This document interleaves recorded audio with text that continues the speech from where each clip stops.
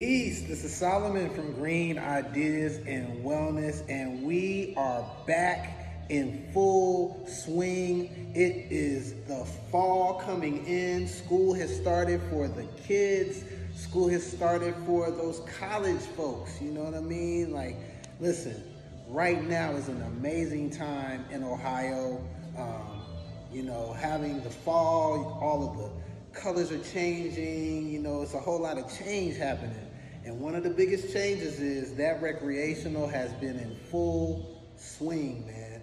Um, big shouts to all of those people that have came in to the Ohio locations, picking up products and experiencing their first recreational uh, adult use sales. So listen, all I know is we have a lot of products in store right now. You should check those out. We are part of that dual use market. So, you know, request on your local dispensaries. And thank you for advocating with